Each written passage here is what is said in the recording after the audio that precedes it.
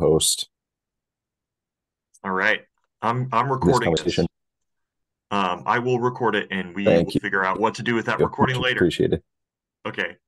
Um, but what I did think would be helpful for the folks on the um, on this call today before we kind of dive into q&a is just to kind of you know we released four different documents with the announcement of kind of grant availability. And i thought i'd just kind of walk through and be like what's on this document so you know what to expect as you're going through it and how to kind of think about filling out the application.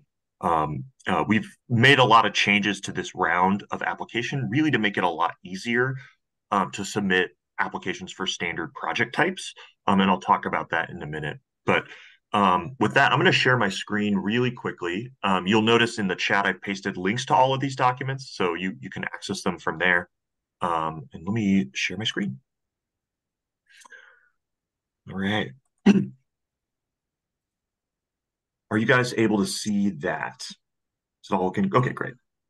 Okay, so I'll start in the kind of order and uh, that I've pasted them in the chat uh, we wanted to start with just a very brief document describing like what are all of the different technical assistance grant programs that we have at DLCD so folks know like well if I have this project type really what pool of funding should I apply for? When is that application process going to be roughly? What is it for? You know how much money is available? And so we kind of got this short document together just describing all of those things um, this includes all of the housing planning assistance that we're aware of, including um, the the things we'll be talking about today. But we also wanted to include like our, we have a general TA program that's for things that are not related to housing. We have the TGM program, you know, all those different types of things. So if you're wondering about like which um, pot of funding or application process is going to best suit my project, this is definitely the document to refer to. Highly recommend just taking a read about read through it if you have a minute. Um, and one one of the things I'll mention, so we're going to be talking about housing related planning assistance, um, and we know uh, based on um, what has been passed by the legislature so far, we can for certain say that we have been allocated 3.5 million dollars for the purpose of housing planning through House Bill 2001, which has passed this legislative session. That includes two and a half million for housing planning assistance. This is, you know, anything related to Goal 10, including, you know, like things like housing production strategies. And then we also have a pot of funding of about a million dollars for anything related to urbanization. So um, for folks who might have identified a need for a UGB amendment or want to pursue a UGB land exchange or want to adopt urban reserves or, you know, want to do some um, uh, public facilities planning in relationship to an expansion area to make it development ready uh, we have essentially a pot of funding that's dedicated to that. That's actually very new, that we have not had that before. One of the things I wanted to mention, in addition to these two pots of funding, the legislative session is not over, right? We're starting this early to give as much time for projects as possible, but that means there's a lot of pot of funding pots of funding that are in discussion right now that we don't exactly know if they're going to be adopted or not. So, in addition to this, we have seen some technical assistance floating around for a lot of things related to code amendments uh, and things like that. So, they're tentative at this time, so we didn't include them on the sheet, but just keep in mind that there might be a, a a bunch of additional funding. So we highly encourage just submitting projects. I would definitely encourage if you have a code amendment project that you know kind of needs to happen in your community, we highly encourage uh, applying for that. All right, so that's the first document. Um, I'm going to move to the second document. We can take questions at the end. Um, and I'm going to move into this this uh, what we have been calling our kind of grant packet. This is a six-page document. I would highly encourage just taking a read through this. This describes uh, what the housing planning kind of assistance dollars are for. It describes, you know, the legislative context. It describes what our funding priorities are, how we're going to be making decisions, who can apply for grants, what the timelines are looking like. All of the information that you want to know about the grant program is outlined in detail in this document. So I highly encourage taking a read of that, but I won't spend too much time on it here today. All right, I'm going to move to the application form. This is the thing that you submit to us to say that, hey, we want funding and assistance. And we've made some changes to this document since last biennium. And the major change is that we designed this to be more like a fillable form that you complete and then you submit to us rather than having to submit a bunch of attachments. There's some asterisks to that, which I'll explain in a minute. So this form is designed to be, you know, fillable. You can kind of enter in all of the relevant information in here. And one of the major changes that we're doing this biennium to make this a little bit easier for folks to fill out is we've designed uh, and, and, developed a set of scopes of work, which I'll talk about. It's in the next document for standardized project types. So, like, for example, a housing production strategy, largely between cities, there might be some differences in how they approach the project, but the major deliverables and the tasks are roughly going to look the same between city to city. So, we developed this kind of book of sample work programs, which we'll talk about in a minute, um, of just kind of standardized project types. And one of the major changes is if a city, oftentimes cities just want a particular product, they know exactly what it is, it, it's going to look very similar to what other product types look like if they are proposing one of those standard project types, they don't have to submit a detailed scope of work to us. They can just check a box, right, indicating which project that they want. And when they're submitting an application to us, um, similar to kind of last biennium, we're offering two different types of assistance. One is for direct grants. This is just us giving you money with a grant agreement in place. And this is to either pay your staff to do work or you can hire a consultant and do an RFP process to, to onboard them. And we are also providing a bench of DLCD provided consultants similar to the last two biennia. This enables us to manage the contract and have a bench of consultants that we can provide to cities so they don't have to do the RFP and manage the contract themselves. Um, I know there's a few consultants in the room here today. We will be eventually releasing an RFP for this. We actually have it completed. We are running into some administrative hurdles with the Department of Administrative Services. So we would expect this to be happening sometime early this summer, but we, we need to work through some backlogs that, that are holding us up there. But we expect to have some DLCD provided consultants. Um, I think the only other thing I would mention about this, uh, this is designed such that you can fill the application and submit it, but there are a few attachments that you might need to provide depending on what your project looks like. One is uh, we wanted to leave the option available for cities who really want to do a very specialized or custom bespoke project to be able to submit them to us. But we need to know what the details of that project are. So if you're going to propose a very customized bespoke project, we're going to need a detailed work program, right? Where you kind of outline, all right, what are all of the tasks, timelines, what's the purpose of this project, XYZ, right? So that way, you know, you have that flexibility to provide it, but we'll need more detail and information. So it'll be a little bit harder to complete. And then in addition to that, there's one more thing you'll need to attach, and we don't need it by the grant deadline, but we will need it before we execute an agreement with you, which we need to know that your councils or commissions are on board with the project. And we need that through an adopted resolution saying, yes, we support the project. And that would be an attachment that you submit to us at some point. There's more details on and instructions on how to actually complete the form that are in the form itself. Highly encourage taking a read and of course, you know, letting us know if you have any questions um, but that's kind of the major change from last biennium. It's really intended to be a much more straightforward form that you fill out rather than kind of all of these detailed application materials that you need to prepare. All right, and then lastly, I mentioned that we have all of these sample work programs. Uh, this is this document. It's, it's about 31 pages. We don't expect you to read the entirety of this, but we would ask that if you're you know proposing a specific project type, give a look at the sample work program and make sure it roughly aligns with your expectations. So like if you, let's say, for example, want to do a housing production strategy this biennium, take a look at the housing. Notice I have bookmarks in the document so you can easily get to the project type. So it's that, that should be a little bit easier. Just take a, a look at the, you know, the purpose as well as the tasks and make sure it looks roughly about what you expect the details might be different. You might want different kind of public meetings or different meetings with your council or planning commission. That's okay. We can edit this program later on, but just make sure that the major tasks and deliverables roughly align with your expectations, right? And if you want to do something very custom and bespoke, we'll need a detailed work program. That's the only kind of caveat here. So with that, that's kind of just an overview of what those four documents contain.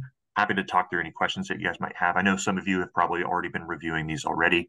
And yeah, happy to dive into it.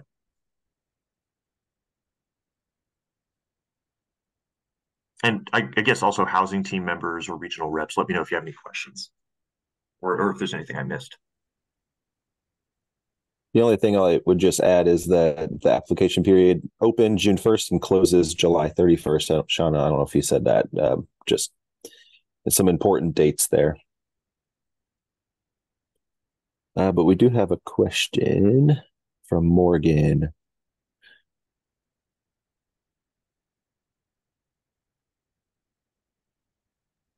Sorry, that was a uh, that was supposed to be a direct message. I did have a question about. Um, oh, about criteria for the code uh, code development grant. Yeah, um, about um, criteria. Uh, so, do you mean like what our de- funding decisions will be based on? Yeah, I mean, how are you evaluating uh, uh, the codes for? I, I, assume it has to do with housing production, but um, yes. Yeah. Well, f- first, I'll just mention, just saying, there's there's talks in the legislative session around specifically dedicated pots of funding for code amendments. So I think if you're thinking that you need a code amendment project, like this is the round to be applying for assistance, um, it'd be a good idea. But just so you know how we're making decisions, and this is for all of the projects that we have on board, we essentially have three major criteria. We, we outline them in the grant packet, so take a read of them. But in short, they relate to our top priority, which is statutory compliance. So if a city needs to come into compliance with either a specific law or a set of laws, that is kind of the intended purpose of these grant programs and that has to be kind of our top priority so that we priority number one.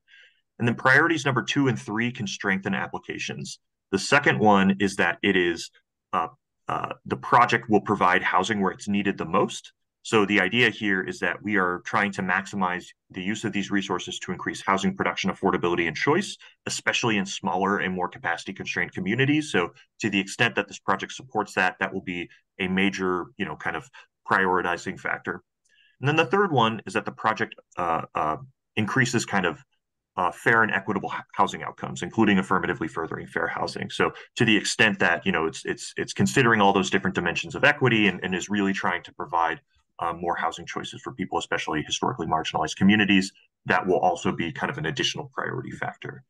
Um, so just those kind of three criteria are going to be our, our major ones, but we'll be trying to maximize the use of, of these resources as much as we can. So great. Thanks, Sean. And I, I realized, Ethan, I, I stepped on Morgan S. I, I didn't realize uh, oh. the other Morgan sent good question. Sorry about that.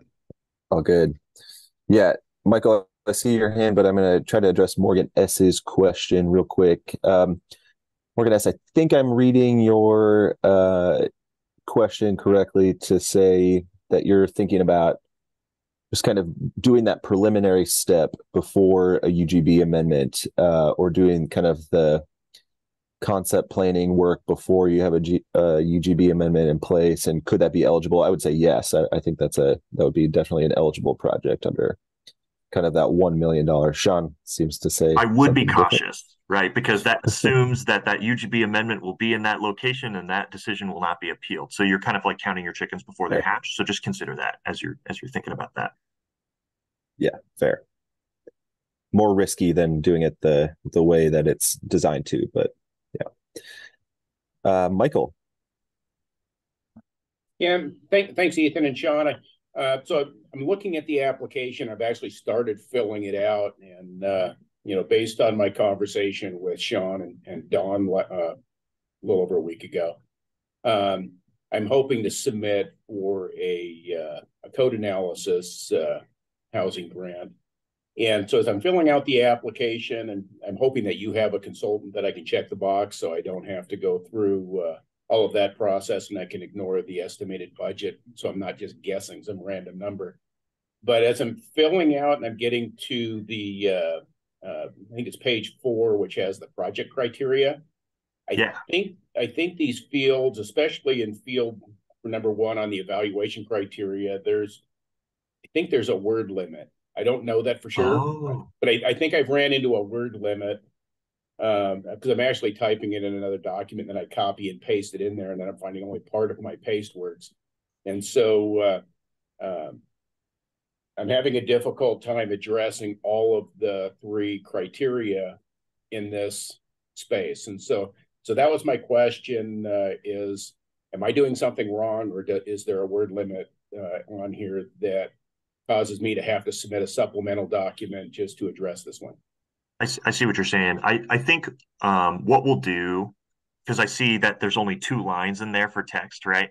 Um, we will take a look at that and try to lengthen it and update that link. So it'll be the same link, um, but it'll be a longer field so you can submit it. Of course, if you're hitting up with a word limit, you can always include an attachment saying, like, hey, this was just really too limiting and we needed to include this attachment. But we'll try to fix that and update the link um, to get the form to be readily filled out my apologies. I thought this would be dynamic. I thought the PDF would move in like as folks filled out the fields, but I see that, that that's not the case. So we'll Uh. Well, this one, yeah, this one actually, I have four lines in there before it cut me off and, and it just keeps making the text smaller and smaller and, and so, uh, you know, so you Less than ideal. another, yeah, I have to use another document just to type it because otherwise I can't, I can no longer read the, uh, the text I'm typing in, but, uh, but Yeah. anyway, I, I wasn't sure if, uh, my copying pasting was the problem or if it was literally a limit of the field. So, thank you.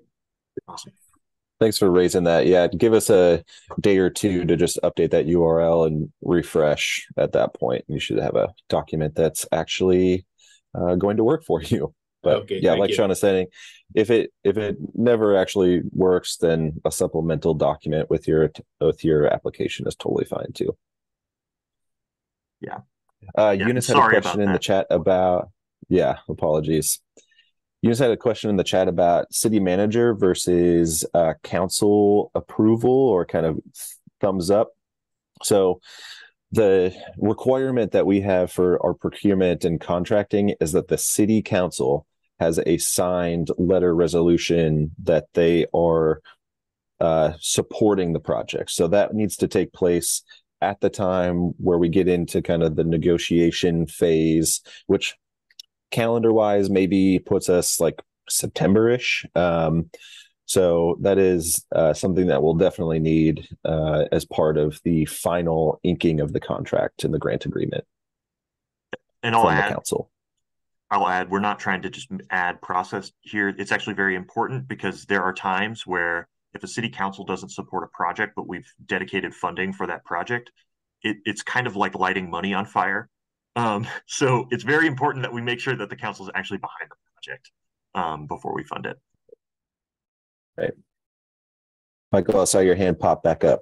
Yeah, well, I just had a follow up to this particular item. Uh, we, we do this as a standard practice, not so much as a resolution, but, uh, all of our departments, when we apply for grants, uh, we require, uh, council support.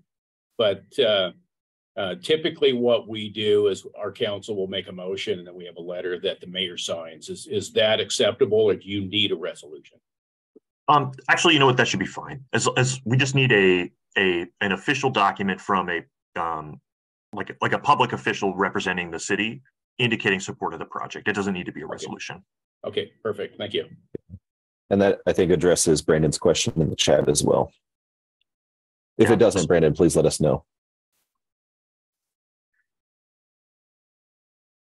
Yeah, don't care so much about the format, but we do need to make sure because we have had instances even this biennium where like staff and council turned over and they turned out to not be in support of the project. And that was money that we could have spent on folks who had councils who supported projects. So we want to avoid that.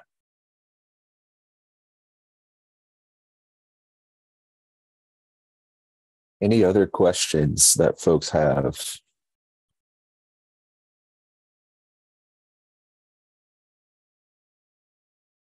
All right, we've got a question. Give us give us a second to read this question here, Jamin.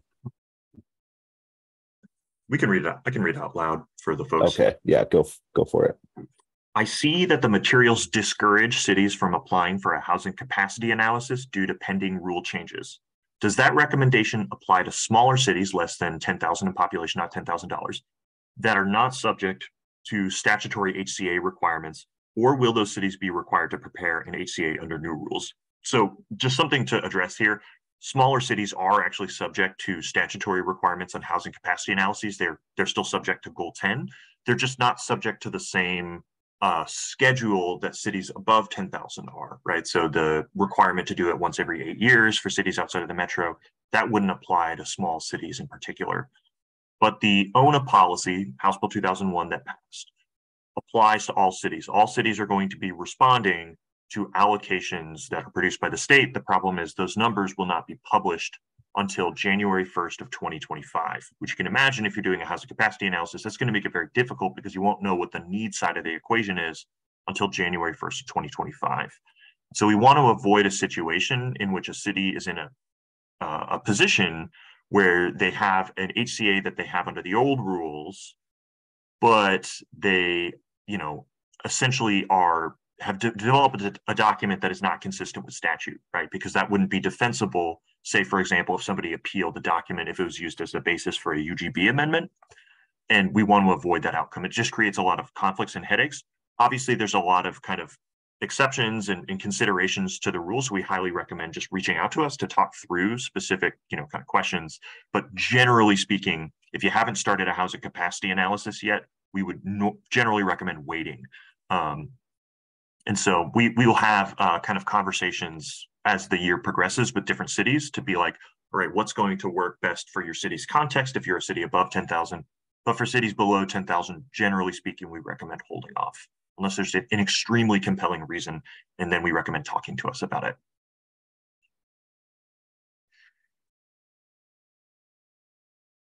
Okay, let's see. So a couple questions here. I'm going to address John's first about the city of Yachats. So you're working on a housing implementation plan still this month. It'll go to council later this summer.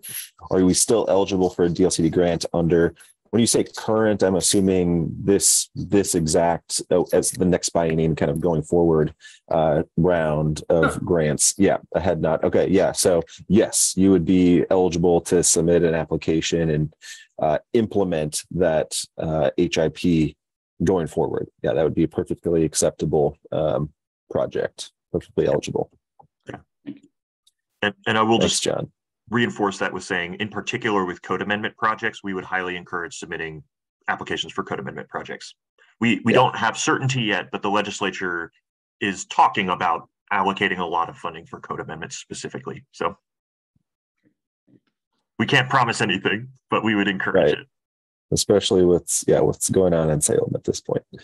Um, Okay, Todd's question. It was my understanding that funds could only be used for consultants, but Ethan mentioned that they could be used for staff time. Please confirm this. Any unique limitations when applying funds for staff time? All right, good question. So there are two branches or two types of grant options that local governments have. They have a kind of what Sean was describing when he had those those documents up saying there is a DLCD provided bench of consultants that you can just kind of say, I want to do a housing production strategy, um, and that's our plan.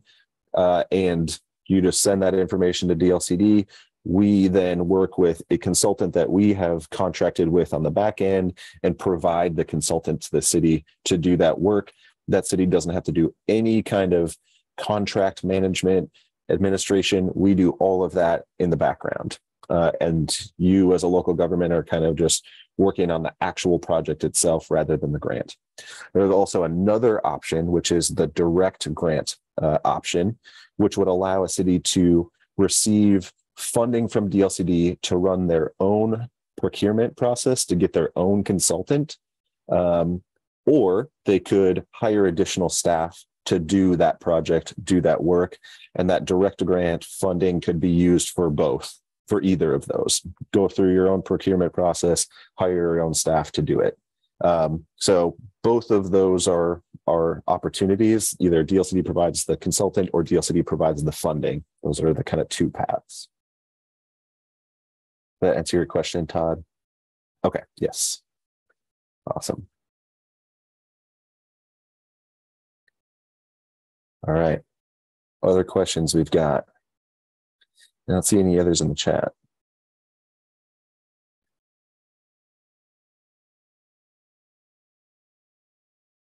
And if folks want to talk about like the projects that they're thinking about and, and you know any considerations they're in, we're happy to chat through those two, those questions.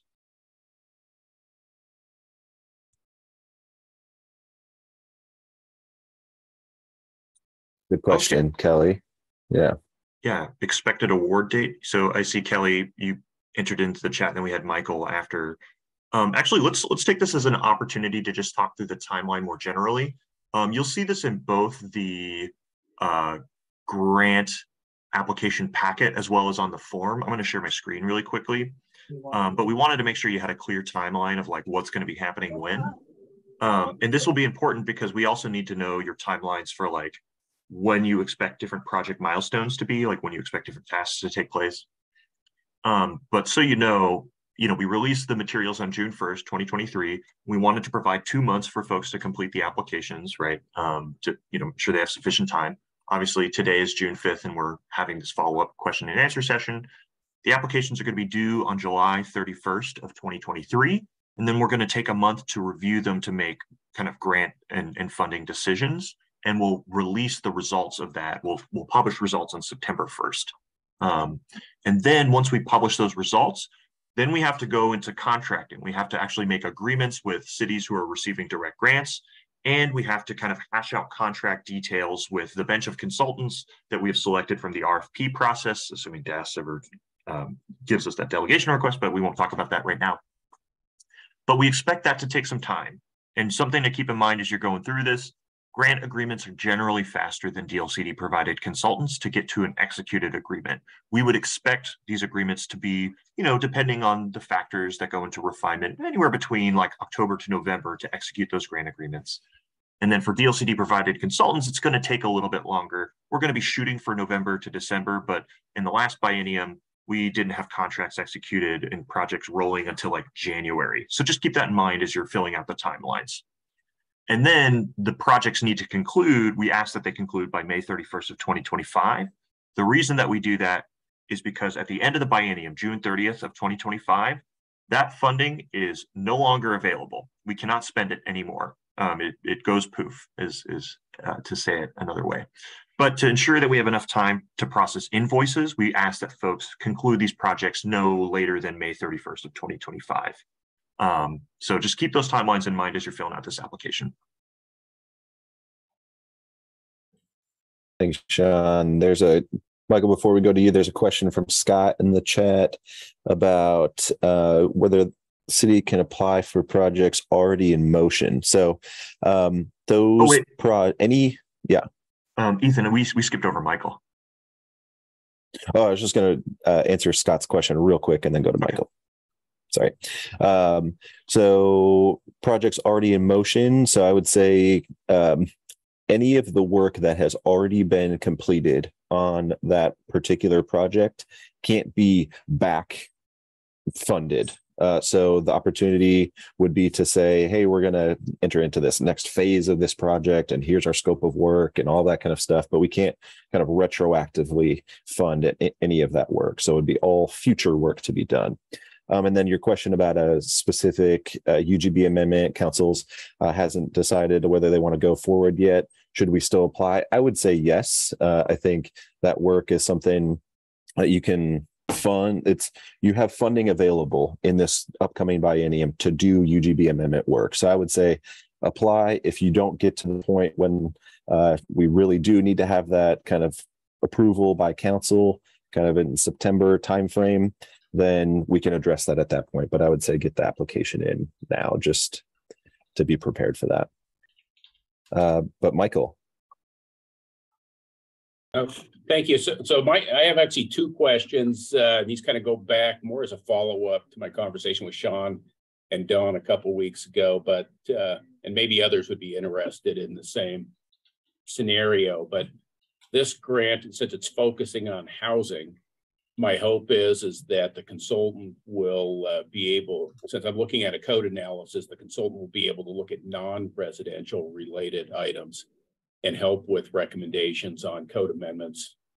Uh, one, for example, that I have that's been on uh, my council's list for probably three or four years, and I keep kicking the can down the road because of all the, the housing needs analysis and production studies doing my sign code.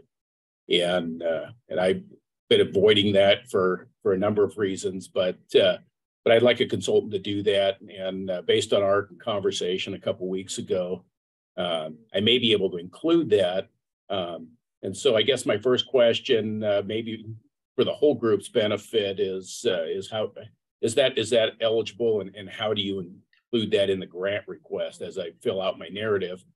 And then the second question that I have related to that is uh, with a DLCD hired consultant. Um, I don't know if they have specific qualifications, but if they're not qualified to do the sign code, or I don't get support for for adding that to uh, this grant, um, would uh, would you just weed that out of my narrative and say, well, we'll fund the housing piece, but not the sign code piece, and and so that I I don't disqualify myself just for asking. Yeah, no, absolutely. That's a great question. And what I'll add, what I'll say is, uh, first, definitely include everything that you want on an application and we can we can tell you no essentially for for different parts but it won't necessarily be an entire project we've done this in the last biennium where you know a city might have asked for a lot of different things but we needed to make you know priority decisions so we're like well we can do these things but not not these other parts right so we can definitely do that um we we do we should mention our statutory direction here is saying these are four things that are related to housing so we want to make sure it has a nexus there. Like we probably can't revamp somebody's commercial code that's not really related to housing, but we could say like, you know, if there's a nexus between sign code and residential uses, which there can be, right? You know, if we have the funding to kind of support it, we want to be able to support as much planning work as we can, and it makes sense to kind of pair it with the project. Um, but you know, we do have to make those decisions. Like if we are limited on resources, we might need to shed some of the less more critical pieces, right? So yes, we encourage applying for anything that has a nexus to housing, and we can make the decisions later on saying, all right, well, we have to make focused decisions on what we what we can and can't fund. Does that does that get at your question? Great. I'll also add that there's um, I don't know, I'm going to use synergy between the grant applications at DLCD where um, typically what we've done in the past is through the general technical assistance fund, which before all this housing funding, the only funding opportunity, grant funding opportunity at DLCD, or, or one of the very few ones, um, and kind of shifting and playing around with which pot of funding the uh, the project kind of is funded through. So I would say in an instance like that, if if we were to say uh, that maybe that sign code doesn't really fit in the housing work, we'll fund all of the housing work through the housing fund, and then the other work we'll try to fund through the general uh, technical assistance fund. And you don't really see that as the city um, but we would just kind of manage it that way. So, um, like Sean is saying, I would encourage the city to ask for all of the things that it needs to do, and we'll try to figure out how to best fund that uh, in the way that makes the most sense for those pots of funding. But Kelly. Yeah, thanks. Um, so this may be a stupid question, but I'm always happy to answer ask stupid questions. Um, are you evaluating these applications as they're coming in and is there priority given to like kind of first come first serve um, and the reason i ask that is where i go with housing in my code is um, i'm at the mercy of what's going on at the legislature right now um, so if they actually are able to have some things pass, then um, I'd be looking at clear and objective standards commensurate with uh, 3197. But if they don't, then I'll be going in a different direction with my code. Yeah. No, that's a good question. And yeah, so the timing is we we do the timing before the legislative session resolve like ends for the purpose of giving cities as much time, cities and counties as much time to be able to, you know, submit grant applications and we can review them and get started with projects as soon as possible. One of the kind of trade-offs with doing that is that we don't know exactly what the session holds until sine die, right? Or even maybe in this case after sine die. And so um, uh, it's not the way we're structuring the application is it's not first come first serve. We do have an application deadline of july 31st of this year and we'll be considering all the applications submitted to that point. Um, and you know we'll probably be reviewing and reading applications beforehand so we you know know what's coming in we know what to expect but we're not going to say first come first serve. Um, it's it's you know anybody who submits an application by the deadline and meets the criteria would be just as eligible as anybody else yeah, and our our priority scheme is first. The first bite at the apple is anybody who's trying to fulfill statutory requirements. So, you know, compliance with thirty one ninety seven would fit that bill as the first priority, kind of um, within that realm. Okay. What the questions we have from folks?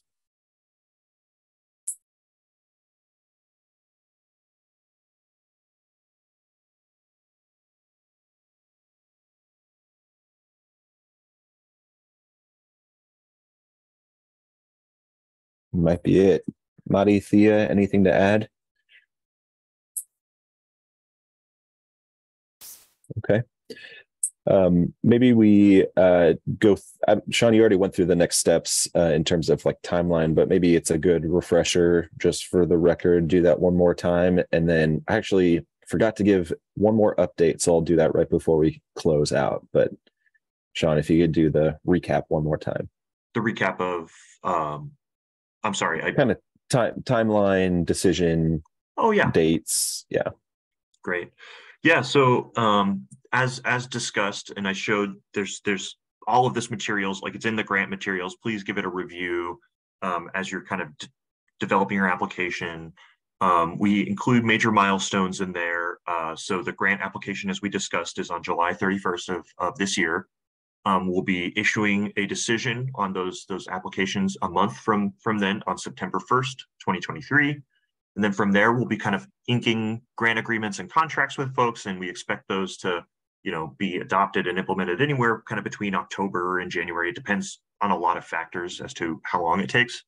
Um, and then we have essentially kind of a year and a half to do the projects before they need to close out on by May 31st of 2025. Um, and that is kind of the timeline. Again, there's there's a lot more detail and information in the grant uh, agreement, uh, or sorry, the grant application materials. Uh, we highly encourage just taking a review of that and making sure that these projects look like you know roughly what you need um, and then fill out that application. And again, if you're, you know, generally proposing kind of a standard project type, like a code amendment project or a housing production strategy or something like that, it, it really, you know, the details aren't as important. We just need to know that you're doing that project type. So you don't need to submit a detailed work program. Though if you are doing the custom bespoke project, we do ask for, for more details on that. So, um, but yeah, with that, I think that is everything hopefully you guys find this easier this round than in the previous biennia. I know we had to do work programs for everybody, which could be a little bit of, of, of a pain, especially if you're just doing a very simple project.